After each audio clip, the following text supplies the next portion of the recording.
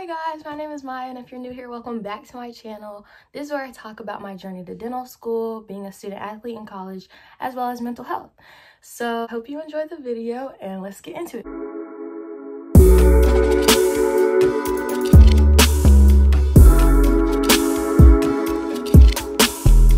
As you can tell from the title of this video, I'm going to be talking about my stats that got me into dental school, as well as advice I'd give anybody who's considering medicine as a field after undergrad. So, before I get into it, I would like to tell you guys where I decided to go to dental school, as promised in my last video. So, without further ado, I'm going to reveal the school I chose. You ready? You ready? Are you sure you're ready? Okay, stop betting. I'll tell you. I'll tell you. The school I chose is ECU.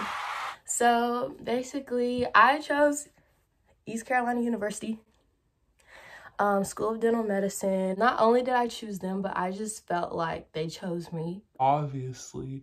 I just feel like I am such a part of the family that they have there, and I haven't even set foot in the classroom yet. So that was very important to me. And I'm very excited about my decision. So stay tuned for that. Okay, so for the real reason you guys are here, let's get into my stats that got me into three different dental schools and got me four interviews. So as you guys know, I'm a biology major. Um, a lot of questions that I get asked is, what's your GPA? My GPA is a 3.7, but as for medical school and dental school purposes, they like to look at your science GPA. And that GPA at the time I was applying was a 3.6. So in addition to that GPA, I'm also a student athlete. I think that that is super important to have on your application.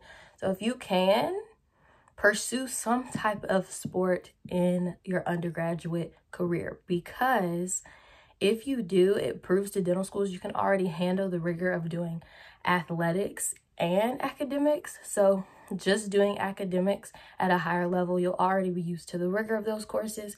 So it'll just prepare you better and kind of get you like a leg up. The DAT. Scary. No, for real. So my DAT score, academic average, was actually below the national average at the time I was applying. So if you are under average or anything in any type of area that they look for, you are not counted out. So don't say, I'm below average, I'm not getting in, because as schools that prepare you to go into the medical field, they're going to look at your application holistically. And basically what that means is they're not just looking at your DAT score. They're not just looking at your GPA. They're looking at your extracurriculars, your shadowing hours, your community service, your GPA, everything as a whole, which I think is very, very good. So my DAT score ended up being an 18, which is, like I said, below the average. And my PAT is the perceptual ability portion of the test, which they also weigh kind of heavily. I got a 20 on that part. I showed out on that part, but not so much on the actual um, test. As for shadowing hours go, I got around 150 shadowing hours. They want you to have about a 100. Like, I'd say that's the average, but with COVID and everything like that, I'm sure that they've, you know, given a lot of students a kind of comfort zone or sort of a leeway, which is good. My volunteer hours, I ended up getting around 75, which is good as well. For those, you just need to get as many as you possibly can. You don't necessarily need research to get into medical school or dental school, any type of postgraduate program, but it is good to have on your application just to show that you're a well-rounded student. I ended up getting 20 to 25 hours of this. That's my stats that got me into dental school.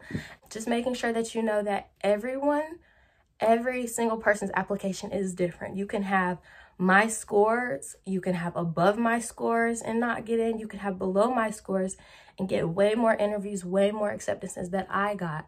So you just have to make sure that you're looking at yourself as an individual, not comparing yourself to others. And it is easier said than done, but that's the best thing that you can do for yourself. So some advice I would give to anyone who is wanting to be in my shoes or anybody who's thinking about pursuing a field in medicine is that all of the aspects that go into your application are equally as important. This goes back to that holistic view that I was talking about.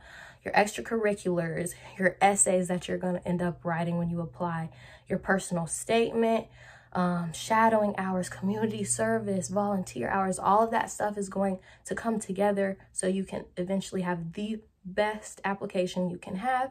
So make sure that you're very well rounded in every single aspect because they want a well rounded student. They want somebody who's interacting in the community. They want somebody who's going to put in the work in the classroom. So just making sure you're not just super focused on the DAT or super focused on your, you know, GPA. Making sure that you are well rounded in all areas, as many areas as possible, because that's what's going to make you stand out from the other applicants. Start early. And what I mean by that is if you're a freshman, you need to be doing things over your winter break, such as maybe shadowing, maybe an internship, anything like that. In summers, I'm sorry, but you do not have summers off. You need to be getting your name out there. You need to be going to seminars. You need to be, you know, shadowing. You need to be doing summer programs. You need to be doing things that you can eventually put on your application later on because those things are going to really help you and they're really going to show that you know what she's wanted to do this for the past three years. She's put time in she's put effort in. This is going to make you stand out from everyone else. Another tip of advice that i would give is to find a mentor early. I ended up getting my mentor probably mid junior year which is kind of late um, I kind of relied on my advisor and she's great. She's amazing. But it is good to have a mentor, like somebody who's actually in dental school or in any type of postgraduate school that you're looking to apply to. So they can kind of give you the inside scoop on what to and what not to do, kind of steer you in the right direction because they've already been in your shoes. Another tip that I would give is to make sure as soon as you step foot on campus, you're keeping track of every single thing you do. If you join a club, you're keeping a record of this club I joined. We meet this many hours a week.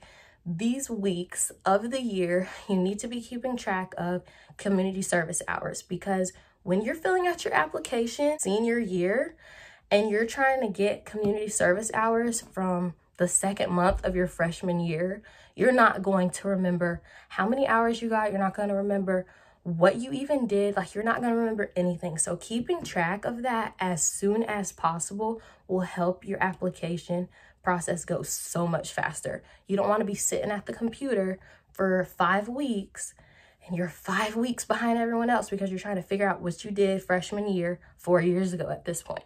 So just making sure you're keeping track of literally everything and keeping people's contact information because once you're filling out your application, they're going to ask for contact information, the name of the person who was in charge, the name of the club you were at, um, the day of the event, the times you were there, what you were, a description of what you were doing.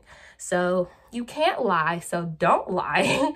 um, just make sure you keep track of any and every single part of information that you end up doing in undergrad, and that will really help you.